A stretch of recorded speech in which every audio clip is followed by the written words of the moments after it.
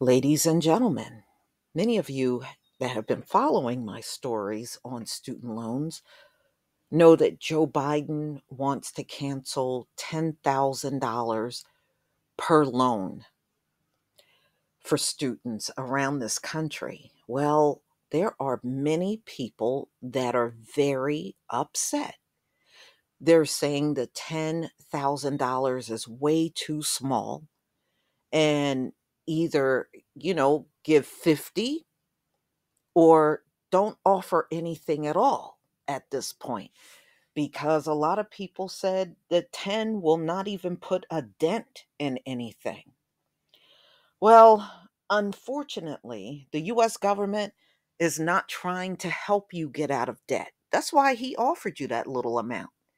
He doesn't care that it's not enough. And, and I think many of them do know, these politicians know that is not enough and it doesn't go far enough. But they simply don't care. So, right now, you got tens of millions of Americans that are waiting for the administration to get around to defining their student loan debt cancellation plan. Most recently, the White House reported leaning towards the cancellation of $10,000 per borrower. So, uh, the Senate and top Democrats, Chuck Schumer of New York and Elizabeth Warren, have been pushing to forgive $50,000 for all. And that's what a lot of people really want. The NAACP has also uh, expressed that $10,000 wouldn't go nearly far enough for Black student loan borrowers who carry an average balance of more than $50,000 a few years after graduating. Wisdom Cole, a national director of the Association of Youth and College Division, recently said on Twitter that nixing just $10,000 would be a slap in the face. At the same time, the idea of student loan debt forgiveness infuriates many Americans, including those who never borrowed for their education or went to college. Some Republicans said they would try to block an effort by the president to cancel the debt. So the Republicans don't want anything canceled at all. The vast disagreement on the topic explains uh, part of why it has been hard for the administration to decide how to proceed, especially with the midterm elections looming. CNBC was asking readers how they felt about the White House forgiving $10,000 in student loan debt. Dozens of people wrote in. But here's what a few said Caleb Perkins, 29, a student, Dayton, Ohio. I will be uh, approximately $50,000 in debt by the time I graduate in December with my master's in social work from Ohio University. I'm a first generation college student who comes from very humble roots. My mother is a high school graduate, my father is a high school dropout. But both of them are some of the hardest working I've ever known. I started my higher education at Sinclair Community College in Dayton. Fortunately, uh, getting substantia- uh, substantial uh, scholarship from the school as well as a Pell Grant due to my family's income level. Eventually, I graduated with an associate's in cyber security and computer forensics before transferring to Ohio University to pursue my bachelor's in criminal justice. I see student loans as one of those necessary evils. It's not that I wanted the debt. $10,000 in forgiveness would be uh, substantial for me. Is it as much as I'd like to see? No. But it's better than nothing, and 20% off of my total, still quite a bit. So, another student, Stephen Barrison, of San Antonio. I am writing from a perspective of a parent who funded two children undergraduate educations and a private liberal arts college, and subsequently helped fund a master's degree program for one of them.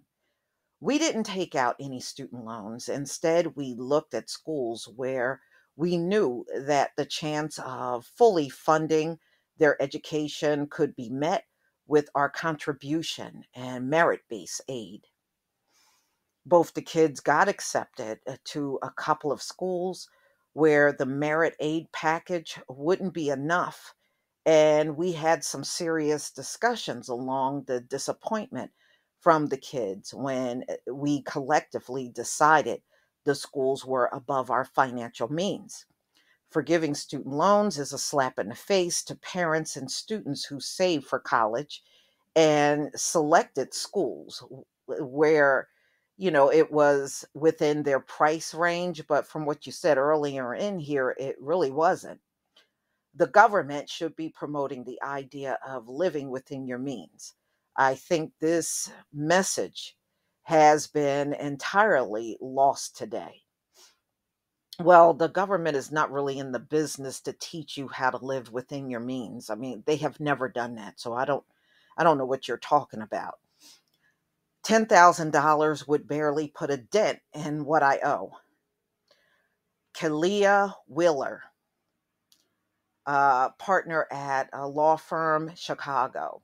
I am an attorney who owes $125,000 in student loans. That's after making consistent payments uh, during the 10 years I've been out of school and paying $25,000 during the interest free pause over the last two years. Prior to the pause, my required minimum payments was $1,800 per month. I know that as a partner at a law firm now, I make more than the average borrower, and I feel buried in debt without options. I am like a new mom, and I would like to be able to spend my little ones, infant and toddler years, at home with them, but I can't afford not to keep working. I had to take out loans because I'm one of six children, and my parents couldn't afford to pay for law school or to support my uh, or to support me financially. Somebody's mowing the grass while I attended. $10,000 would barely put a dent in what I owe. I feel conflicted even writing this. There are other far worse than me. Yeah, there are many far worse. You work at a law firm, you're a lawyer. Uh, but this is my situation, and I know I'm not alone. All right, so the last person said cancel it all or do nothing. Aaron Bartlett, 42, a teacher in St. Paul, Minnesota. I'm, I'm absolutely crushed at the thought of only $10,000 being forgiven. I've been a K through 12 educator in Minnesota for 19 years, and I have about $50,000 left to pay off. This debt is crippling. I currently work uh, two part time jobs in addition to my full time job to make ends meet. I'm so tired of America being one of the only places in the world where education isn't free.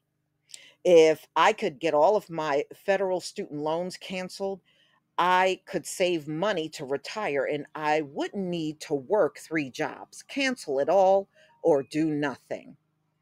Well, y'all, you're going to have to tell me what you think. Personally, I do believe it should be more than $10,000. You may not agree with me, but if the average person have $10,000, I, I think they can, I mean, $50,000 in debt as far as student loans are concerned, I think they need to bump that up a bit. I really do. You know, America, it's been a tough two years, and it's going to be a tough three years when this year is all said and done. And there are a lot of people still trying to get back on track with their lives. It's, it's been a rough haul for America. since 2019 and it's not getting easier. It is actually getting worse. But y'all, please tell me what you think about this story. Please leave your comment and subscribe. Don't forget to hit on the notification bell, and I'll see you on the next video. Peace, family.